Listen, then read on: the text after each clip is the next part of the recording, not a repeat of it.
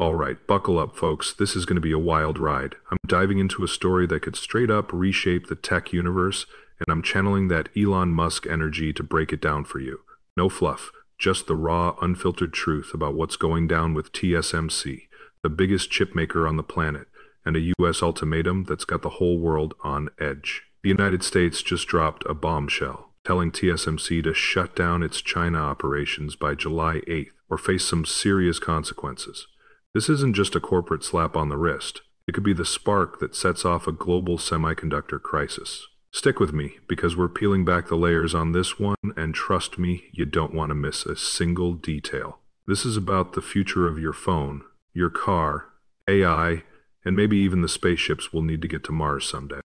Let's set the stage. The semiconductor industry is a $600 billion zero cents juggernaut, the lifeblood of everything tech. From the phone in your pocket to the AI systems running the show behind the scenes, chips are what make it all go. TSMC, Taiwan Semiconductor Manufacturing Company, is the kingpin here. They churn out over 60% of the world's advanced chips, the kind that power iPhones, NVIDIA's AI GPUs, Qualcomm's tech, you name it. We're talking cutting edge 3 nanometer and 5 nanometer chips that keep companies like Apple and AMD ahead in the innovation race. Without TSMC, the tech world would grind to a halt. But here's the crazy part. TSMC's got factories in China, and the US is now saying, shut them down. Why? It's all about national security, AI dominance, and the escalating tech war between the US and China. This isn't just about chips, it's about who controls the future. The US has been tightening the screws on China's access to advanced tech for years. Export controls on AI chips, restrictions on chip making equipment, you name it.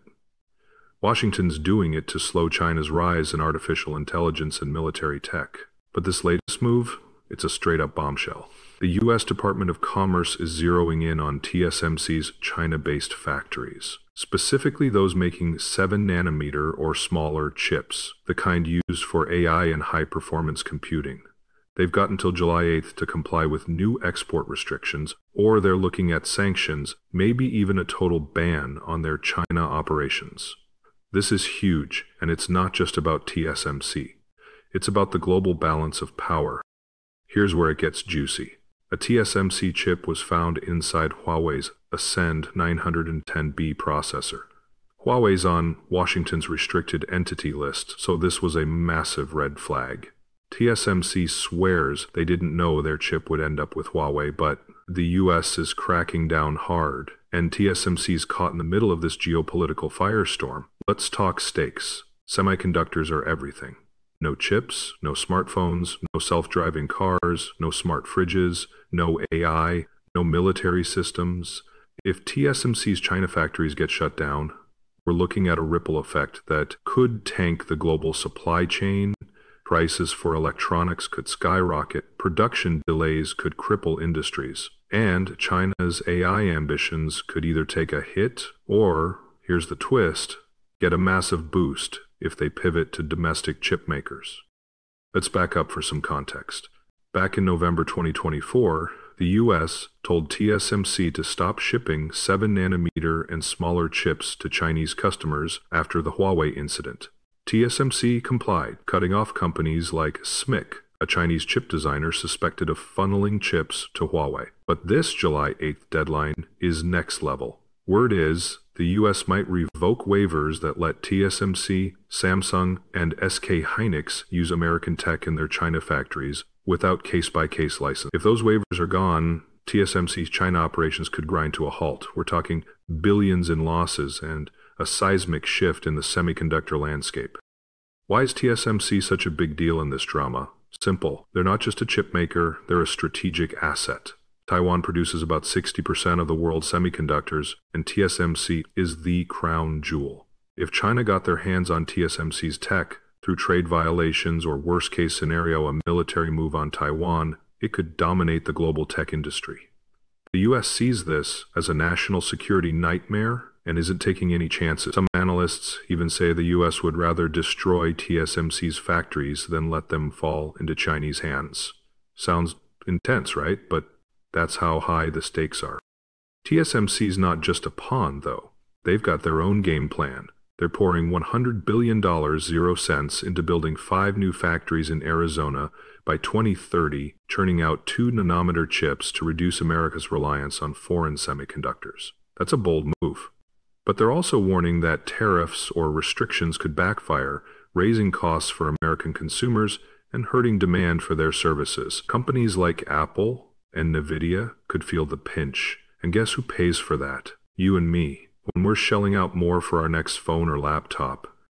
Then there's China's side of the story. Beijing's watching this like hawks, and they're not just sitting there. China's semiconductor industry is already ramping up, with companies like SMIC pushing to make advanced chips despite U.S. sanctions. Some experts say these restrictions could actually speed up China's chip game. Huawei's already working with SMIC to produce 5 nanometer and even 3 nanometer chip stuff people thought was impossible under sanctions and even 3 nanometer chip stuff. People thought was impossible under sanctions. If TSMC's China ops gets shut down, Chinese firms might go all in on self-reliance, potentially closing the gap with Western tech giants faster. So what happens if July 8th rolls around and TSMC's China factories are forced to shut down? First, the global chip supply takes a hit.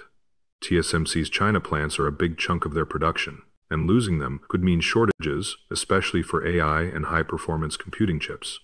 Second, prices for electronics could go through the roof, hitting consumers hard. Third, China's tech giants like Alibaba and Tencent might face delays in their AI projects, but they could also pivot to domestic suppliers, giving companies like SMIC a boost. And TSMC? They could lose billions, with their stock already taking hits after news of this deadline broke.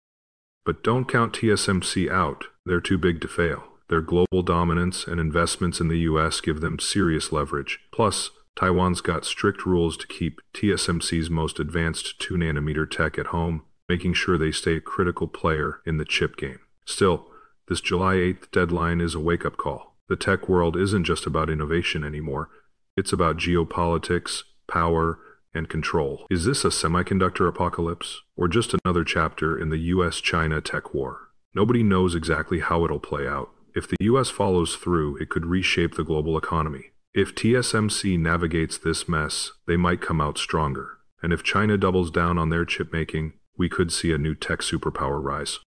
The next few weeks are going to be critical, and I'm telling you, this is the kind of thing that changes the world. What's this mean for the future? The semiconductor industry is at a crossroads. TSMC's dominance has kept things stable, but with tensions spiking, companies and consumers are bracing for impact. Could this push innovation in wild new directions? Some say China's investments in RISC architecture and homegrown chip makers could challenge the West in the long run. Others think TSMC's expansion in the US will keep them on top. The implications go beyond chips. This is about AI supremacy, national security, and the gadgets you use every day. Will the US curb China's tech ambitions, or will this spark a new wave of innovation in Beijing? And what's it going to do to the price of your next phone? We're keeping our eyes glued to this one. So what's your take? Is this July 8th deadline going to trigger a chip crisis, or is it just political noise? Hit me with your thoughts. Want us to dig deeper into China's chip push, the future of AI hardware, or how this hits your wallet? Let me know. This is about pushing boundaries, asking the big questions, and staying ahead of the curve. Let's keep the conversation going and figure out what's next for this crazy tech driven world we're living in. Stay curious, stay bold, and let's keep exploring.